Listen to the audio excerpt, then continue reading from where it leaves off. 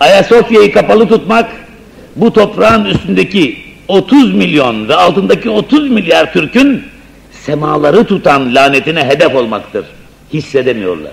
Ayasofya'yı kapalı tutmak, Allah'a sövmeye, Kur'an'a tükürmeye, Türk tarihini kubura atmaya, Türk iffetini kirletmeye, Türk vatanını esir etmeye denk bir suçtur.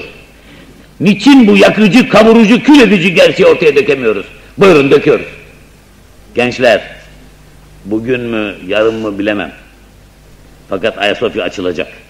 Türk'ün bu vatanda kalıp kalmayacağından şüphesi olanlar, Ayasofya'nın da açılıp açılmayacağından şüphe edebilirler. Ayasofya açılacak. Hem de öylesine açılacak ki, kaybedilen bütün manalar, zincire vurulmuş, kan revan içinde masumlar gibi ağlaya ağlaya, üstünü başına yırta yırta onun açılan kapılarından dışarıya vuracak. Öylesine açılacak ki bu millete iyilik etmiş sanılan kötülerle kötülük etmiş sanılan iyilerin gizli dosyaları da onun mahzenlerinde ele geçecek. Ayasofya açılacak.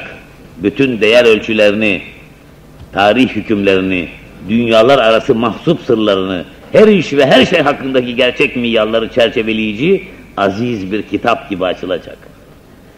Allah tarafından mühürlenmiş kalplerin kapısını mühürlediği Ayasofya, yine onların aynı şekilde mühürle, mühürlemeye yeltenip hiçbir şey yapamadığı, günden güne kabaran akınını durduramadığı ve çığlaşacağı günü dehşetle beklediği mukaddesatçı Türk gençliğinin kalbine eş açılacak.